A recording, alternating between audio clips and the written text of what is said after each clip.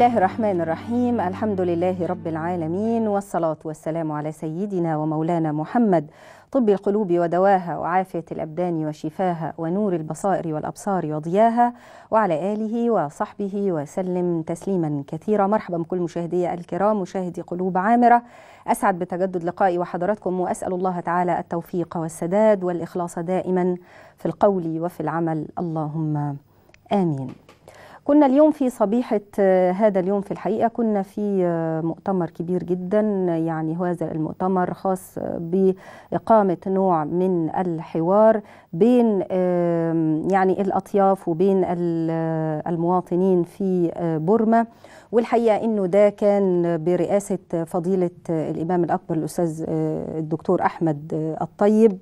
وهذا الحوار اللي المفترض يعني تأخرت خطاه الحقيقة بالنسبة للشعب يعني بورما وإنه بعد يعني أو يعني ظروف كثير كثيرة جدا دامية. يمكن إحنا بس حبينا نجيب لحضراتكم الخريطة عشان نعرف بس فين هذه البلد اللي هي ميانمار اللي هي بورما اللي حدودها الصين والهند ولاوس وتايلاند.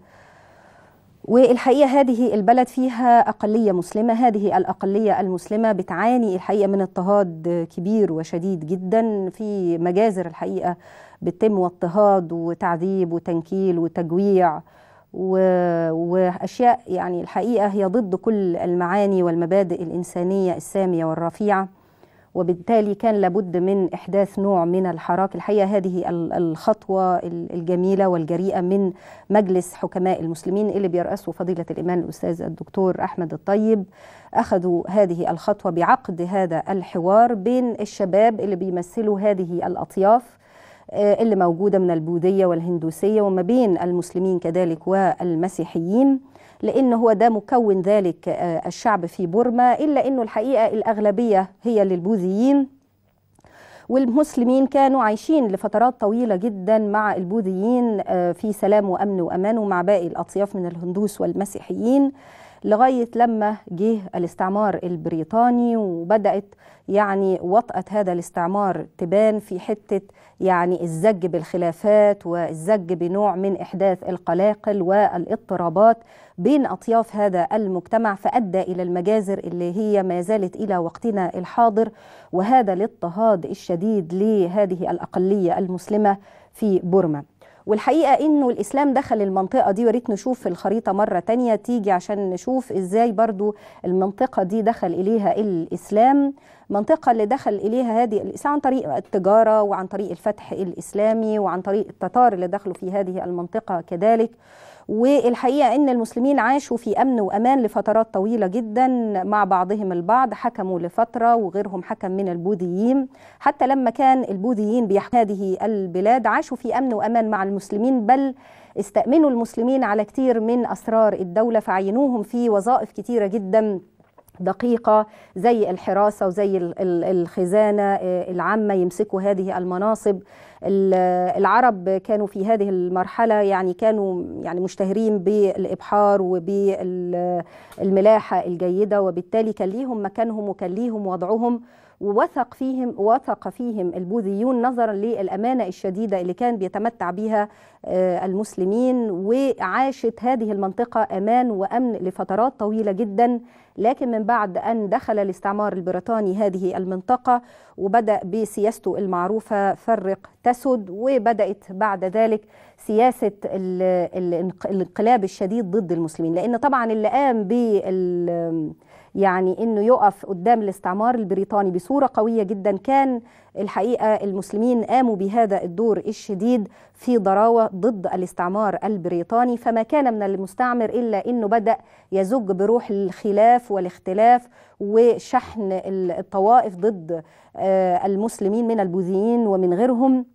ومن ساعتها إلى وقتنا الحاضر مجازر ترتكب تجويع تحريق إبادة لدرجة أنه في سنة من السنين يعني في تعمد لاستقصاء المسلمين بل الإنهاء على المسلمين في هذه المنطقة. إنه هجروا مثلا 200 أسرة كاملة إلى بعض الجزر اللي بينهم بعض الحدود البلدان اللي قريبة منهم. والجزر دي كانت خالية من أي عمران. وبالتالي دول لما راحوا انتشر بينهم الأمراض وما كانش في أكل وشرب الناس دي ماتت كلها. ده غير بقى أشياء أخرى كثيرة جدا وما زال هذا الحقيقة الجرح يعني ما زال ينزف. فكانت خطوة طيبة جدا من مجلس حكماء المسلمين إنه يعقد مثل هذا الحوار في هذا الوقت للوقوف على أسباب الخلاف وإقامة نوع من الحوار بين هذه بين ممثلي هؤلاء الطوائف من البوذيين من المسلمين من المسيحيين من الهندوس. والحقيقة المشكلة الأكبر كانت في الأقلية المسلمة الاضطهاد الشديد الذي تعانيه الأقلية المسلمة في بورما. وكان هذا الحوار في نظري أو إقامة مثل هذا الحوار وتحت رعاية شيخ الأزهر ده يعني لفتة مهمة جدا أنه لابد الحكومات المسلمة تبتدي تلتفت إلى هذه الأقلية التي ضاع حقها على مدار سنين كثيرة جدا وانه هذه الأقلية لا تعامل على أنها مواطنين مثلهم مثل باقي المواطنين الموجودين في هذه البلد. وبالتالي ده يعني يملي نوع من الدو من الأدوار المهمة اللي لابد نقوم بيها كحكومات مسلمة بضرورة إغاثة مد يد العون إلى هؤلاء المسلمين الأقلية المسلمة اللي موجودة في بورما والتي تعاني الكثير والكثير. من إحنا يبقى في حراك من نوع أو من آخر بيبدأ بالحوار يبدأ بنوع من مد يد العون الضغط على مثل هذه الحكومات بأن هؤلاء مواطنين لهم مثل ما لباقي المواطنين من الحقوق الرعاية الصحية والتعليم والعناية عدم الاضطهاد هذا التعذيب والتنكيل والمجازر اللي بترتكب الحقيقة في بورما. فهي خطوة الحقيقة مهمة جدا وتلفت الانتباه إلى ضرورة أن نكون أو نتمثل لقول النبي عليه الصلاة والسلام بأن إحنا نكون كالجسد الواحد. وقيمة الإنسان مع أخيه الإنسان في التعايش. حتى لو أنا مختلف مع الآخر في اللون في العرق في الجنس في الفكر في الدين سواء إحنا كنا أصحاب أديان سماوية مختلفة أو سواء كنا أصحاب أديان سماوية وهناك البعض يمارس بعض الفلسفات الأرضية هو معتقد فيها. لكم دينكم ولي دين هذا مبدأ قرآني. وربنا سبحانه وتعالى خلق الناس أجمعين من ذكر وأنثى وأكد على قضية وجعلناكم شعوبا وقبائل لتعارفوا إن أكرمكم عند الله أتقاكم. لكن الذي له القول الفصل والنهائي في هذه المسألة هو الله سبحانه وتعالى. ليس للبشر في ذلك شيئا إلا أن يحترم الإنسان أخيه الإنسان. فكل بقى أصحاب المنظمات اللي بتتكلم عن حقوق الإنسان واللي مجازر بترتكب حقوق بتنتهك لا توجد كرامة للإنسان المسلم في بوربة.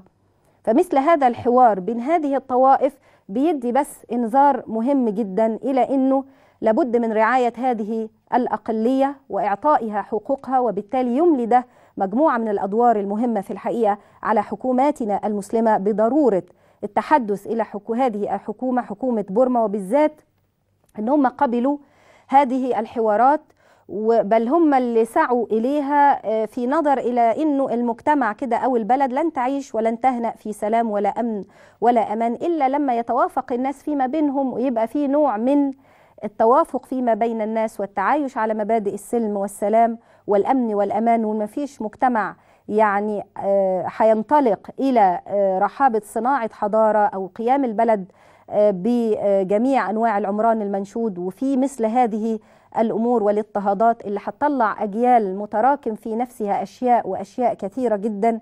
وبالتالي هنولد أجيال يعني مشبعة بالقتل وبالذبح وبالتجويع وبالاضطهاد. يعني الحقيقة مجتمع يعاني وهذه الأقلية بتعاني كثيرا لكن خطوة طيبة جدا تحرك هذا الماء الراكد. وبنشكر لفضيلة الإمام هذه الخطوة الحقيقة وبنشكر كل القائمين اللي كانوا عليها ونسأل الله سبحانه وتعالى أن يسدد خطى الجميع. إحنا بنشارك الحمد لله أنا شرفت بالمشاركة في هذا المؤتمر النهاردة هو على مدار النهاردة وبكرة لكن الحقيقة يعني بنشارك الحمد لله في مؤتمرات كتيرة لكن مش كل المؤتمرات اللي يعني بنحب نتكلم مع حضراتكم فيها إلا مثل هذه القضايا اللي ربما يمكن بعض المسلمين أو بعض الناس ما يعرفوش حاجة عن هذه البلد. فحبينا بس ندي يعني آه كده نبذة يسيرة نتكلم فيها حوالين هذه البلد وما يعاني فيها المسلمون هناك من هذا الاضطهاد الشديد. وهذه الخطوة الطيبة التي نأمل إن إحنا بقى نبتدي نشوف صداها على المدى القريب وعلى المدى البعيد بإحداث نوع من الهدوء وإنه تلتفت الحكومات إلى ضرورة الوقوف مع هذه الأقليات. وكذلك منظمات حقوق الإنسان اللي بيتشدقوا بهذه الكلمات ليل نهار في غض طرف تام عما يحدث في هذه البلد من اضطهاد للأقليات المسلمة هناك من تعذيب وتنكيل وأشياء أخرى كثيرة. نسأل الله سبحانه وتعالى السلام. هنبتدي بقى نرجع لأسئلة حضراتكم معانا وأنا عارفة إن الأسئلة يعني كتيرة معانا. أه حاضر. أستاذ هشام بيقول لنا لازم نطلع الفاصل عشان أه حاضر. معانا بقى مجموعة من الأسئلة. طيب هننوه على الموضوعات عشان بعد الفاصل إن شاء الله نتكلم فيها. أه أخت فاضلة حصلت ليها مشكلة على الأستاذة وفاء في الأحبال الصوتية وإنها عندها التهاب شديد جدا بيمنعها من قراءة القرآن. يعني هي ما بتقومش بالقراءة خالص أثناء الصلاة. فبتقول يعني الصلاة على هذه الحال تجوز يعني هي صامتة ولا حتى تحرك الشفاه وبتقرأ القرآن في في داخلها في نفسها تجري القرآن على قلبها ولا تتلفظ به. هل الصلاة على هذه الحال جائزة ولا لا؟ هنشوف ده إن شاء الله لكن بعد هذا الفاصل.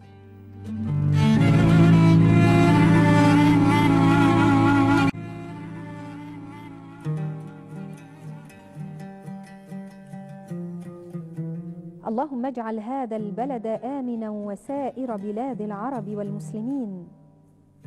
وارزق أهله من الثمرات من آمن منهم بالله واليوم الآخر. اللهم اجعلنا مسلمين لك. واجعل ذريتنا أمة مسلمة لك. وتب علينا إنك أنت التواب الرحيم. اللهم يا حنان يا منان يا بديع السماوات والأرض يا ذا الجلال والإكرام والطول والإنعام والعفو والإحسان والمنن والرضوان. من علينا. بنعمة الأمن والأمان والهداية والإيمان وأدم علينا نعمة السلامة والسلام والعافية والتيسير والتوفيق على الدوام. واحفظنا واحفظنا بحفظك الذي لا يرام. يا خير الحافظين ويا مجيب السائلين. وآخر دعوانا أن الحمد لله رب العالمين وصل اللهم وسلم وبارك على المبعوث رحمة للعالمين. اللهم آمين آمين آمين. مرحبا بحضراتكم من جديد. هناخد بس التليفون وهنبتدي نجاوب على السؤال اللي قلناه لحضراتكم قبل الفاصل. السلام عليكم ورحمة عليكم الله. عليكم السلام ورحمة الله وبركاته. أهلا وسهلا. ازي حضرتك يا دكتور؟ الحمد لله رب كل سنة العالمين. وحضرتك يا رب وحضرتك بألف خير. يا رب. يا وربنا رب. يجازيك كل خير يا رب. اللهم آمين آمين آمين. آه، هي استشارة يعني وأنا حاضر. محتاجة مشورتك آه، أنا بالمعاش. وربنا يخلي عندي ثلاث أولاد آه، بنتي الوسطانية دكتورة. مم. آه، بيتقدم لها ناس كتير جدا من يوم ما اتخرجت يعني بقى لها أحسن دلوقتي من خمس ست سنين وبتقدم لها ناس وبيمشوا من غير ما بيرجعوا. فجات لي عليا لحظة ضعف. أنا أساسا يعني التربية والتعليم وإنسانة متعلمة الحمد لله. رب العالمين يعني. وجات لي لحظة ضعف إن أنا لجأت للمشايخ وقالوا أعمل أعمل لها ومش عامل لها و... فأنا مش عارفة أنا نفسي أس... الضعف- نفسي أسأل حضرتك سؤال. في. آه، أتشرف باسم حضرتك بس؟ نعم. أتشرف باسم حضرتك أو حضرتك احمد مين؟ أم آه، أحمد. أم أحمد؟ آه. يا أم أحمد آه، آه، لما رحتي للناس دي حد منهم قال لحضرتك لا روحي بنتك ما فيهاش حاجة؟ لا هم مش قالوا قالوا لي معمول لها بوقف. يعني أنا أقصد إنه ما فيش حد حضرتك رحتي له قال لك لا هي مش معمول لها حاجة. لا كلهم لا. لا. بيقولوا لحضرتك هي معمول لها. آه وجي لدرجة إن أنا هي طبعا طبعا هي رافضة الطريقة اللي أنا بعملها ديت خالص وبتزعل مني وبتقعد فترة كده ما بتكلمنيش. فبضطر إن أنا مثلا أستأذن شيخ مثلا يجي لنا البيت هنا يقعد يرقيها وبتاع و... وحضرتك بتسمعي اللي بيقوله؟ آه بقعد معاها ما لازم أقعد لا معاها. بتسمعي بيقول إيه؟ آه آه. يعني آيات قرآنية أدعية كده يعني اللي هي المقصوره اللي إحنا برضو بنقولها وبنرددها يعني والآيات اللي هي القرآنية سورة آية الكرسي المعوذتين الحاجات اللي طيب حضرتك عارفاها. حضرتك تعمليها؟ إذا نعم. شاكه في شيء أنا أعمل الكلام ده. والله لاجد ناس يختلط. ال... يختلط يا ست أم أحمد ال... ال... الصالح بالطالح وما بقاش أنا فاهمة ده بيقول إيه ولا بيعزم يعمل إيه ولا يعني ما مش كل الناس الناس دي إحنا بنجيبها كده بالصيت يعني وما نعرفش الناس دي حقائقها إيه بالظبط. فأنا ما أنا أقوم الإنسان يقوم برقية نفسه. نعم ورد إنه بعض الصالحين كانوا يقومون بمسألة الرقية لكن يعني إحنا بقى الصالحين اللي نتأكد من صلاحهم حد كده من أئمتنا الكبار إنما من الناس اللي ما نعرفهاش دي. وبعدين هل يعقل أنا ده دايما الشيء اللي أنا بقوله هل يعقل إن إحنا يعني رب العالمين سبحانه وتعالى يجعلنا كده يعني في رقبة يجي واحد آخر يتحكم فيها؟ مش ممكن. وبالتالي لما نزلت المعوذات الثلاث عشان الإنسان يلتزم بقراءة المعوذات الثلاث. يقرأ قل هو الله أحد قل أعوذ برب الفلق قل أعوذ برب الناس. ثم يقرأ ما شاء من القرآن. خذ من القرآن ما شئت لما شئت. أنا أقوم اتوضا وأحسن الوضوء وأتوجه إلى الله بصلاة ركعتين. أسأل الله سبحانه وتعالى من خيري الدنيا والآخرة. ثم أدعو الله بما أشاء. من بقى أبتدي أقرأ من سورة الفاتحة بداية ال- ال- البقرة. الآية 102 في سورة البقرة الآية الكرسي في سورة البقرة خواتيم سورة البقرة. آمن الرسول بما أنزل إليه من ربه والمؤمنون. واخد بقى اخد ياسين اخد العشر آيات الأولى من سورة الصفات. أخذ من القرآن ما أشاء بالذات. الآيات اللي النبي عليه الصلاة والسلام والسور المباركات اللي النبي عليه الصلاة والسلام آه، نبهنا إلى التعوذ بهن. قل هو الله أحد قل أعوذ برب الفلق قل أعوذ برب الناس. لأن إحنا مش واثقين الناس دي بتقرأ إيه. وليه أنا أحط نفسي يعني تحت رحمة إنسان آخر أنا مش عارفة أبعاده إيه. ممكن بيقرأ قدامي بعض الآيات وممكن في النص بيعزم ولا بيعمل حاجة إحنا مش فاهمين بيعمل إيه. يزيد الموضوع سوءا واضطرابا وتخييلا عند البعض. والإنسان لما بيدخل ال- ال- المطاف ده ال- الطريق ده هو طريق معوج مضطرب والإنسان خطواته فيه مش متزنة وبالتالي هو بينزلق من سيء لأسوأ مش هينتهي لنور أبدا. النور في كتاب الله هو حبل الله المتين. لو أنا اللي أقوم برقية نفسي ولو عندي ماء زمزم آه، أقرأ عليه وأشربه ولو أنا عايزة أقوم أنا بنفسي والإنسان لو ليه ورد يومي من القرآن لن يصيب الإنسان شيء الإنسان مواظب على طاعاته لله يقوم بحقوق الله ويقوم بحقوق العباد. لا يخاف شيئا إلا الله سبحانه وتعالى. ولكن إحنا يبقى هذا التركيز آه، اصبري عليها وتمتعي بصحبة بنتك إلى إنه يأتيها الشخص المناسب ليها وبلاش نتعجل. بلاش فكرة أصل كل واحد يجي يروح ما يرجعش. ما نقول الحمد لله بدل ما ما يجوا يتجوزوا وبعدين نبص نلاقي المشكلات اللي بنسمع عنها وبنلاقي الاضطرابات الأسرية نظرا إن الأم تقول لك اصلها اتأخرت في الجواز فأي حد يجي يجوز تجوزه له على طول. وما بنديش نفسنا وقت في الدراسة وما بنديش نفسنا وقت في إن هي كمان البنت تدرس تشوف ده هل يصلح لها ولا لا يصلح لها؟ أمور كتيرة جدا لازم إن إحنا يعني نراعيها ست أم أحمد ما تخافيش عليها وبكرة هتتجوز وتدخل عليكي بالولاد ولا محتاجة أروح لشيخ ولا مر... وأنا بتضايق حتى لما بتقولوا تلق... تلقبوا هؤلاء بمشايخ. العلماء لا يصنعون مثل هذه التصرفات. يا يا أخت أم أحمد اصبري كده ولو انت عايزة ادعي لها. دايما الإنسان يستقبل الحوادث حتى ما يحيا فيه الإنسان وعنده نوع من الخوف. الإنسان يدعو الله سبحانه وتعالى واللي بيفتح له باب الدعاء ده بتفتح له أبواب الرحمة. من فتح له باب الدعاء فتحت له أبواب الرحمة. زي ما النبي عليه الصلاة والسلام علمنا علمنا كل خير وعلمنا كل بركة وعلمنا كل يعني باب سليم يطرقه الإنسان فيجد فيه الخير كل الخير. بلاش إحنا بقى نروح للأبواب المنحرفة. وللأفكار والأوهام اللي تلغوش كده اللي تسيء اللي تعمل نوع من الضباب نوع من عدم وضوح الرؤية في قلب الإنسان المؤمن نظرا لأنه آه، استبدل بال- باليقين والحق هذه ال- الأشياء اللي إحنا يعني ما أنزل الله بها من سلطان. لا أتكلم عن الناس اللي بتقوم بمسألة الرقية لكن أنا مش مع هذا الفريق. أنا مع أنه الإنسان يقوم فيرقي نفسه. السلام عليكم ورحمة الله. اتفضلي يا أم أحمد. السلام عليكم.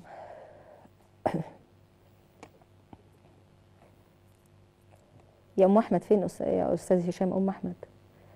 طب حاولي كلمينا مرة تانية. نرجع كده للسؤال اللي كان معانا لأختنا الفاضلة الأستاذة وفاء بنقول لها شفاكي الله وعافاكي وبتقول إن هي مصابة بضعف في الأحبال الصوتية والتهاب مزمن في الحنجرة آه، وقد وصف لي الأطباء بأن علاجي راحة الصوت أي التقليل من الكلام مما اضطرني إلى أن أسكت ساعات طويلة.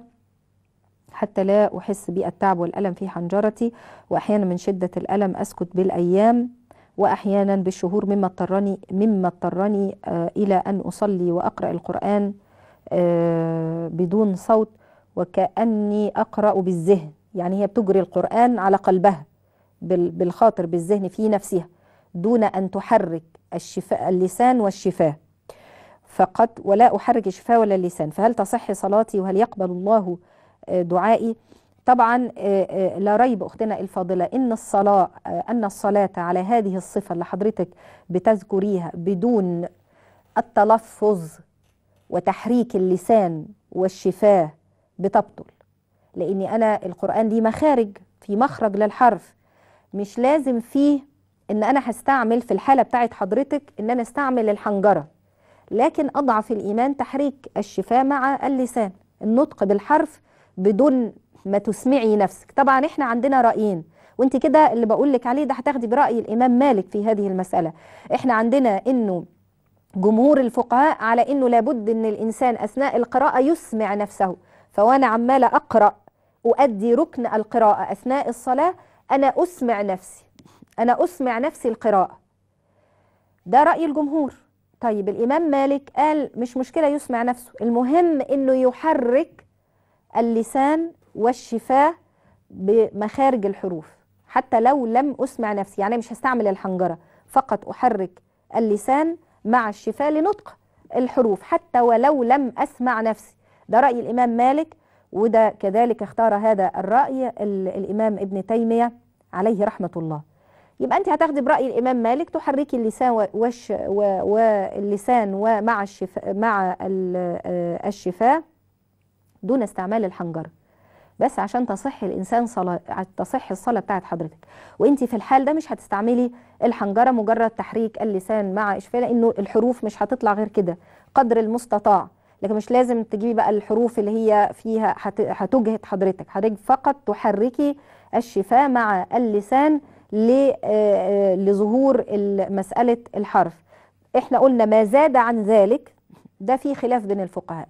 تسمع نفسها القراية ولا ما تسمعش نفسها القراية؟ الجمهور قال لك لا لابد من إسماع النفس القراءة والإمام مالك قال لا مهم بنحرك بس ال- اللسان مع الشفاء عشان نطق ال- الأحرف ومخارج الحروف وتبع وكان على ذلك الرأي كذلك الإمام ابن تيمية. فحضرتك تاخدي برأي الإمام مالك عشان تصح الصلاة بتاعتنا وانت مع تحريك ال- ال- الشفاه واللسان فقط و- فاتقوا الله ما استطعتم يا ست وفاء ونسأل الله لك الشفاء. والعافية. معانا سلام عليكم. أستاذة منى. أيوه السلام عليكم. عليكم السلام ورحمة الله تعالى وبركاته. كل سنة وحضرتك طيبة يا دكتورة. وانت طيبة يا ست منى. آه الله يخليكي. بص حضرتك آه، سريعة كده أنا كنت أساسا أرملة ومعايا ابني متوفي. فبعد إذن حضرتك كان زوجي اللي أنا اتجوزته دوت آه قال لي كان متجوز وطلق مراته. فأنا ما خدتوش وهو متجوز. تمام؟ ومعاه بنت منها. وأنا معايا ولد من زوجي اللي توفى. واخد بال حضرتك فهو اتجوز ورجع لها بعد حوالي أربع سنين من جوازي مني. أنا قلت له إن أنا ما باخدكش من حد ولا بجوزك من حد وكده. واخد ده بال حضرتك. المهم رجع لها عشان في طفلة معاها. فهي عايز يردها قلت له هي دي مش بتاعه عيشة أساسا و- وعايزة فلوسك وبس. وبعد كده بالفعل راح متجوزها ما قعدوش شهر إلا يومين أو شهر إلا ثلاث أيام في ال- بالفعل آه. طبعا هي خلصت الفلوس اللي معاها وعايزة تر- ترجع له تاني مم. واخدة بال حضرتك يعني بعد آه، كده.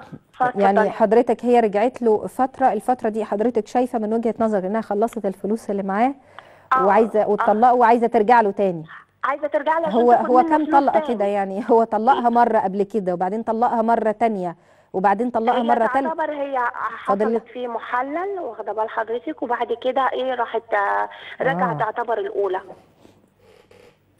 تمام. وبعدين يا ست منى. بعد كده فعايز ما السؤال بقى تحديدا. السؤال آه تحديدا. ان هو عايز يرجع لها وأنا مش عايزة أكمل معاه. طب انت شايفة يمكن بيرجع لها عشان ال ال البنت. البنت. البنت. طيب ما هي هي حجته البنت أما مش هو مش هو مش حجته ممكن تكون دي حقيقة وانت آه. عارفة الولاد برضو يعني انت لو كنت إزاي إن أنا أربي طفلي معايا وده ابني واعتبرته ابني عشان كان ابني صغير وإزاي إن أنا ما أربيش بنتي بس هي مش بتاعت عيشة وبتصير خناقات ومشاكل ومش عارفة إحنا أنا إيه. أنا رأيي يا منى أنا رأيي إن إحنا ما ندخلش نفسنا ما بينهم هم حرين مع بعض ولا تقولي له طلقها ولا تقولي له اتجوزها ولا تقولي له حاجة هو حر في قراره يعني عشان أنا ما بقاش بسعى للفرقة لأن هو آه، طبعا قضية إنها راحت اتجوزت واحد تاني عشان تحلول دي دي دي قصة تانية لوحدها وإحنا كان عملنا حلقة كاملة في في زواج التحليل وقلنا ال- الأخطاء الكبيرة والجسيمة اللي بترتكب باسم زواج التحليل وإن إحنا كده يعني كأننا نغتال هذا الشرع الحنيف في معانيه ومبادئه السامية. وبالتالي إحنا بندخل في سكك معوجة ليست هذه طرق أهل الله وليست هذه طرق أهل الإيمان وليست هذه هي الطرق الصحيحة اللي المفترض الإنسان المسلم إذا آه، حصل له نوع من الاضطرار للدخول إليها إنه آه، يلجأ إليها. فلكن أنا الصورة بالنسبة لي دايما أقول للزوجة اللي تزوجت الزوج وكانت له زوجة قبل كده أقول لها حتى لو مطلقه اعملي حسابك إنه ربما يعود إليها. قد يعود إليها لمشاعر قديمة قد يعود لأنها أول زوجة قد يعود إليها بسبب الأطفال قد يعود إليها بمجموع الأمرين لمشاعره آه، تجاه الزوجة وللأولاد فكل دي أمور قائمة وال- والاحتمالات دي كلها موجودة. أنا بقى ما أدخلش نفسي المهم إنه يوفر ليكي سكنك النفقة بتاعتك. والله عايز يرجع لها عشان الابن عايز يرجع لها عشان أكتر من كده أقل من كده ما ندخلش نفسنا. لكن لا نمنع ذلك لأنه زي ما أنت يعني يعني اخترتي إنك أنت تكوني زوجة لرجل كان سبق له الزواج وهو اختار أن يتزوج من امرأة كان سبق لها الزواج وزوجها متوفى. طبيعي إنه مثل هذه الأمور ممكن بتحصل يا منى فأنا مش عايزاكي يعني تحلي حبل الزواج ده وتنقضي هذا الميثاق العظيم عشان هو عايز يرجع هو حر هيبقى لهم حدود. ال- الاضطرابات دي اللي هم مش مستقرين فيها لازم لها في يوم هيبقى في حد ليها. فأنا لا أنقض هذا الزواج ابدا يا منى وخليكي أنت كده دايما يعني الأكثر عقلا والأكثر حكمة.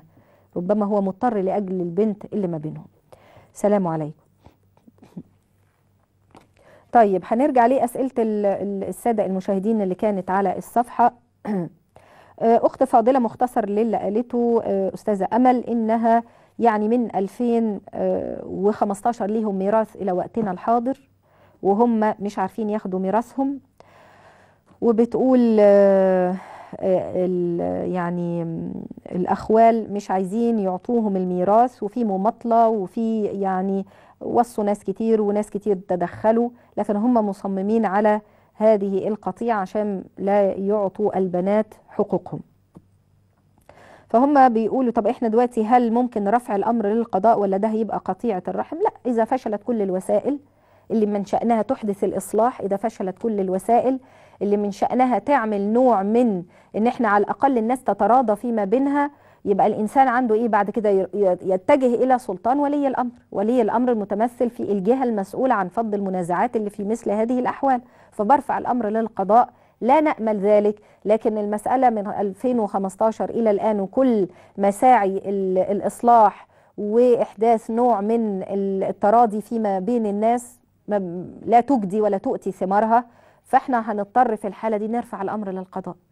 يبقى إحنا كده مضطرين بعد استنفاذ كل الوسائل يا أمل والإنسان عليه أن يطالب بحقه وبدون غلط وبدون ما إن إحنا يعني آه، يعني نخطئ في أي إنسان إحنا ما نسعى إليه أن الإنسان يأخذ هذا الحق الذي له. لا أكثر ولا أقل. السلام عليكم. أستاذة نهى أيوه. السلام عليكم. عليكم السلام ورحمة الله تعالى ازي وبركاته حضرتك يا دكتورة ناديه أهلا بيكي ست نهى اتفضلي يا فندم. آه كنت عايزة أقول لحضرتك إن أنا بنتي اتخطبت. امم آه و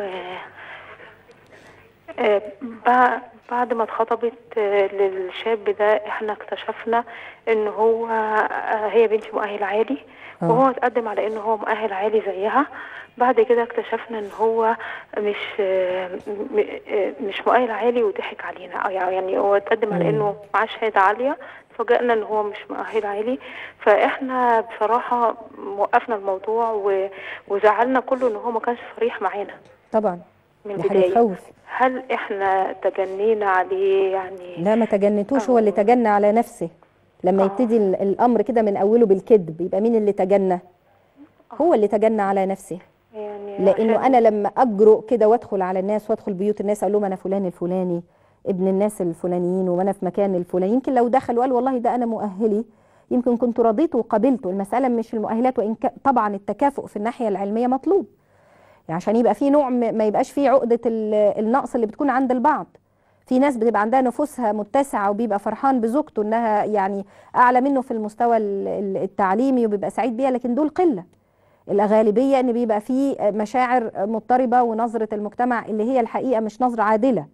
لكن بتضطر بعض الناس إلى إنه يبتدي يتصرف تصرفات مش مظبوطة مع زوجته.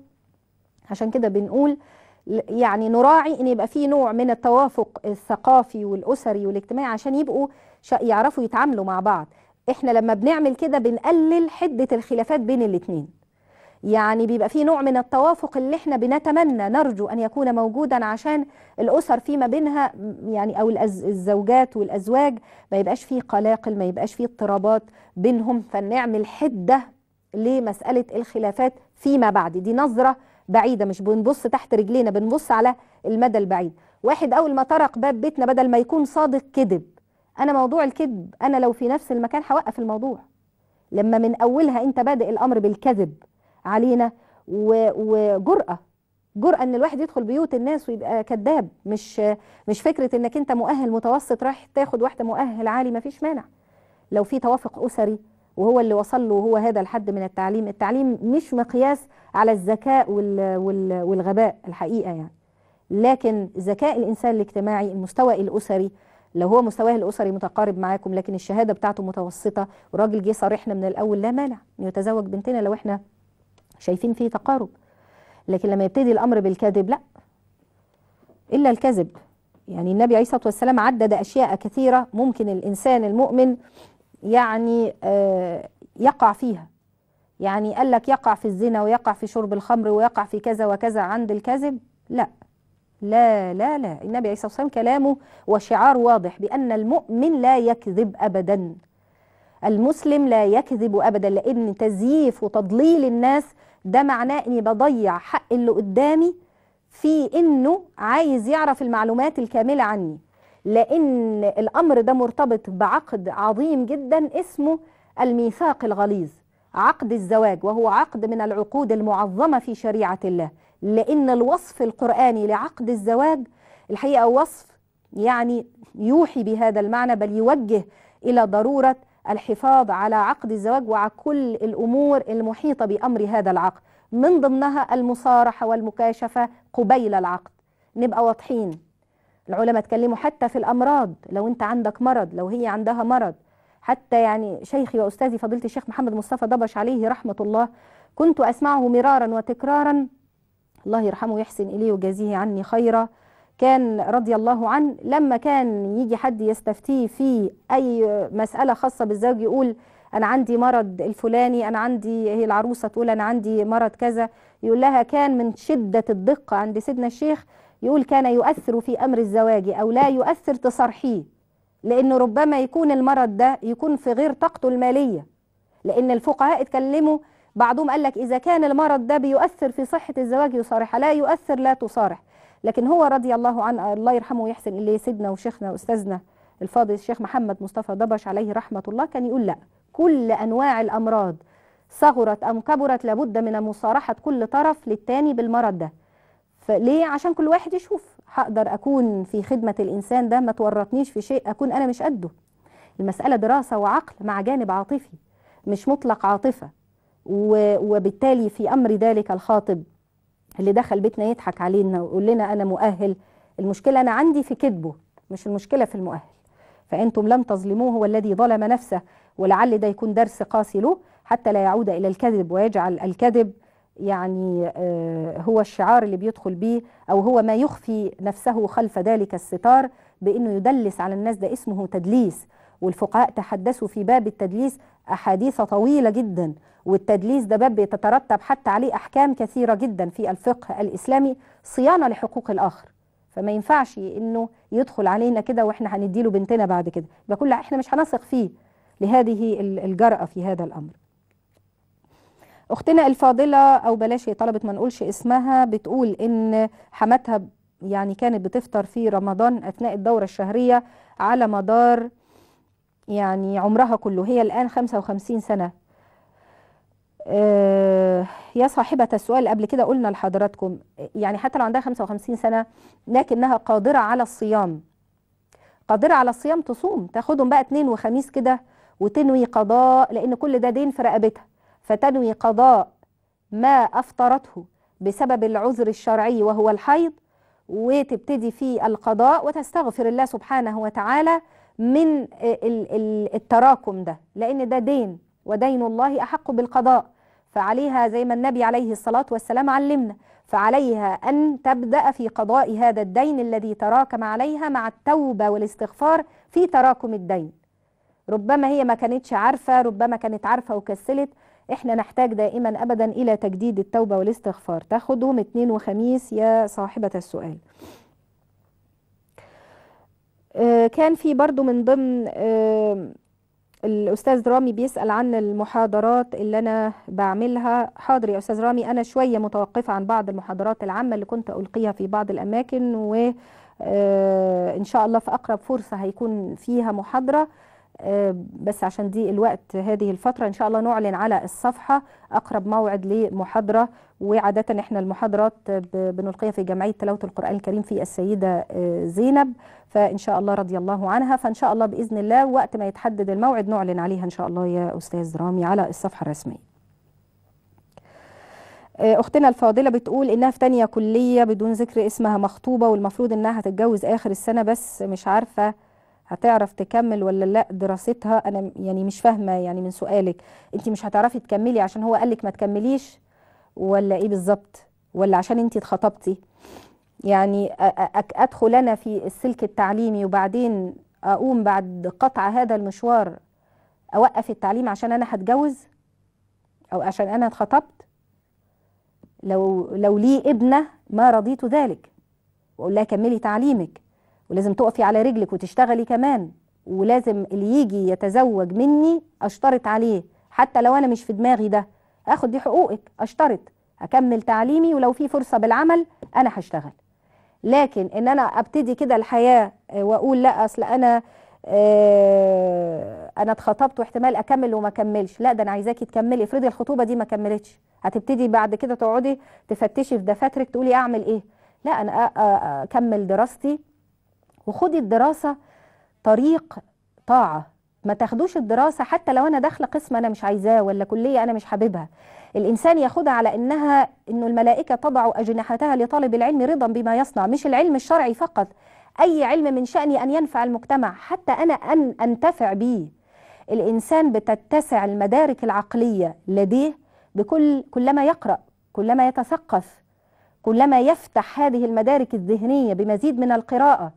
زي ما إن أو كما أن المعدة بتتغذى بال- بالطعام العقل يتغذى بالعلم. كل علم نافع كل علم ينتفع به الإنسان سواء في ال- العلوم ال- ال- الشرعية أو العلوم الإنسانية في مجموعها وفي عمومها. فأنا عايزاكي تكملي دراستك ولما يجي الخاطب اللي اللي خطبك ده تقولي له أنا حكم على شريطة أن أنهي دراستي وربما التحقت بعمل إن رغبت في ذلك. لكن ما تقوليش الكلام ده. طيب هنطلع فاصل؟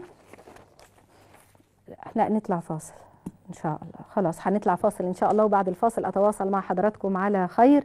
هدعكم مع خير الكلام. سبحان الله والحمد لله ولا إله إلا الله والله أكبر ولا حول ولا قوة إلا بالله العلي العظيم. ألقاكم إن شاء الله بعد هذا الفاصل.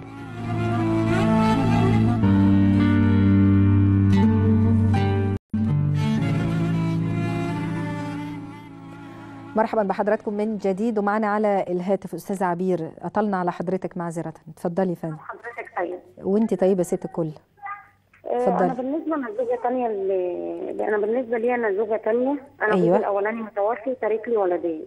امم فأنا اتجوزت واحد. تاني فهي مراته أصلا كانت مريضة. أيوه. فأنا المهم اتجوزته كده بس أنا قاعدة في مكان وهي في مكان. آه، المهم رجعها. فعادي ما بالنسبة لي عادي ما فيش أي حاجة. ففي الآخر ببص لقيته إيه مش ماشي مش واحد. أنت عارفة الامناء الشرطة والكلام ده. آه، المهم ما عملتش عارفة امناء الشرطة إيه يعني؟ مش فاهمة. يعني سلوكه مش كويس وكده. أنا معرفه طب يعني وليه نعمم يا ست عبير؟ وليه نعمم؟ ليه نعمم؟ أنا قال أنا ما أنا البعض نرى. البعض كذا عشان حرام ما نظلمش حد المهم آه، سبت ورحت بيت أهلي. أنا بقالي سنة دلوقتي غضبانة. آه. فلما حكمت النفقة له كده حكمت النفقة عليه كده دلوقتي بيكلمني كويس ويقول أنا عايزة أشوف العيال. فبقول له ماشي تعالى اتفضل شوف العيال بس تستأذن من عمي قبل ما تخش البيت. رافض يستأذن من عمي لا أنا أخش بيتي في أي لحظة ده بيتي أنا ما طلقتكيش أنا ما هو. هو طلقك أصلا؟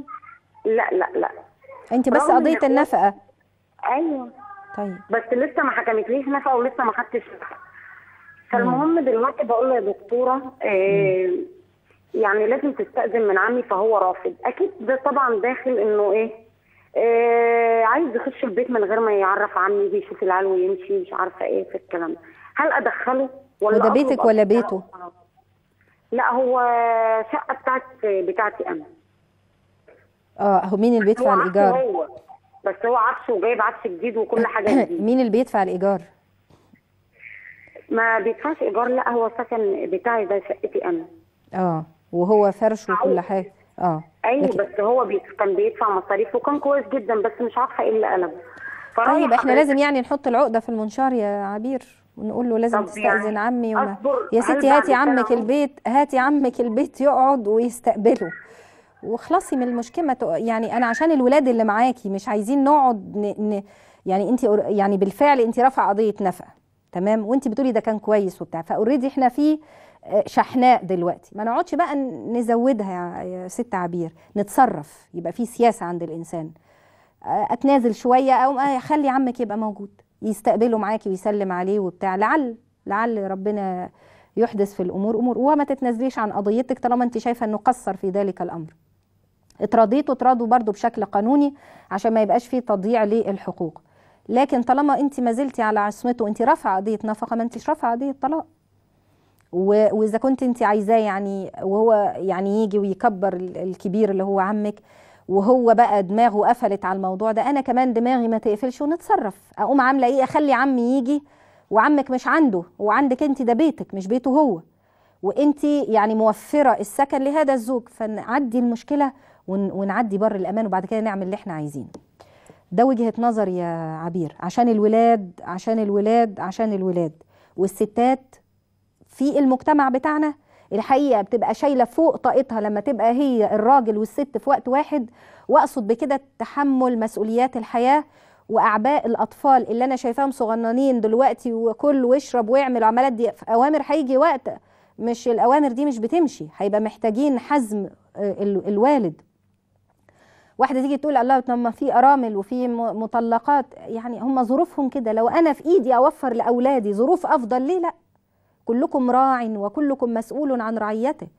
الرعية مش تربية أو الرعاية مش تربية وفلوس فقط. الرعاية كذلك توفير ما أستطيع أن أوفره لأولادي من الظروف النفسية والاجتماعية والأدبية والثقافية والمالية اللي تريحهم.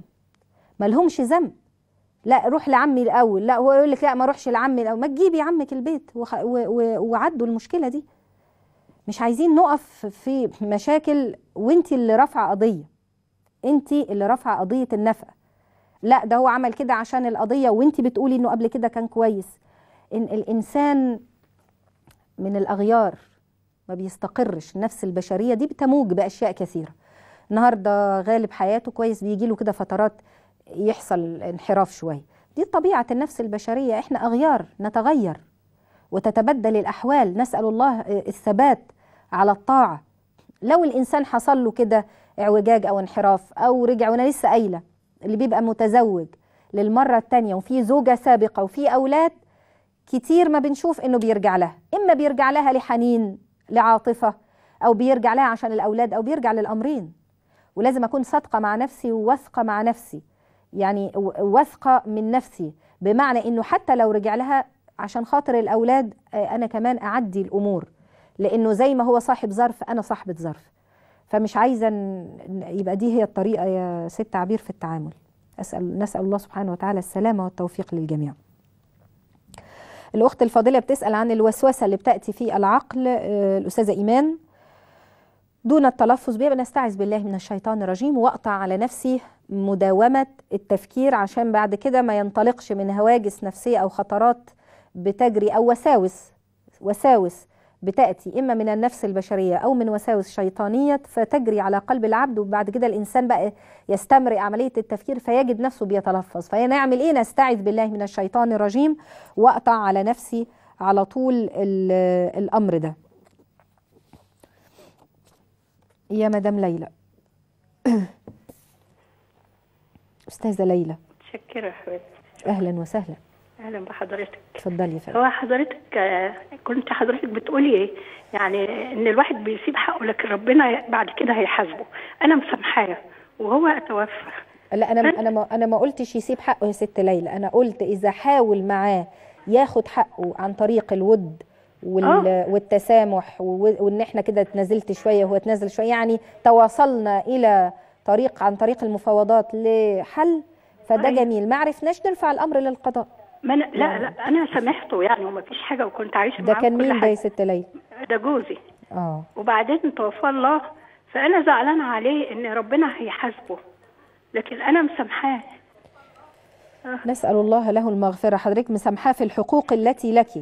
أيوه مسامحاه وبقعد أدعي له كل ليلة خلاص يا و- ستي. وزعلانة ما إحنا قلنا و- إحنا لا إن شاء الله ما تزعليش ولا حاجة ونرجو من الله أن يغفر له وأن يرحمه ونسأل وندعو له بالرحمة والمغفرة.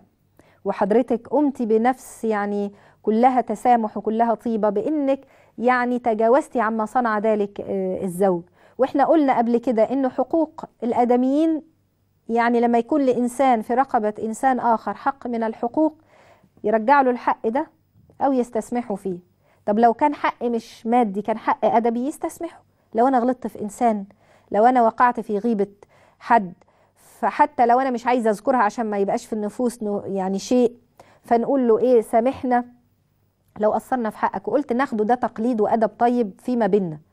مش معناه إن إحنا نروح نغلط وكل شوية نقابل بعض نقول له سامحني لو قصرت والتاني يقول له كده. لا المعنى إن إحنا لو الإنسان حدث منه شيء وتاب إلى ربه وأراد أن يتم عملية التوبة إنه ي... إن إحنا نتسامح يعني اللي هي المسامحة العامة بدون الدخول في تفاصيل إيه اللي جرى وإيه اللي حصل وكده.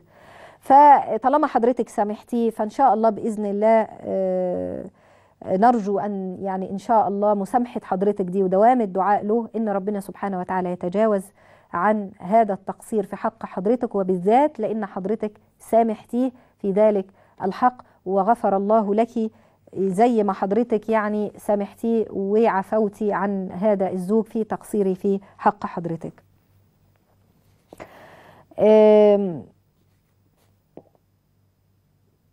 أخت فاضلة آه، بتسأل عن السؤال مش واضح. أيوة. بتقول إنها ندرت ندر ولسه ما عملتهوش وندرت ندر تاني ولسه ما عملتهوش ما الحكم؟ ممكن أعملهم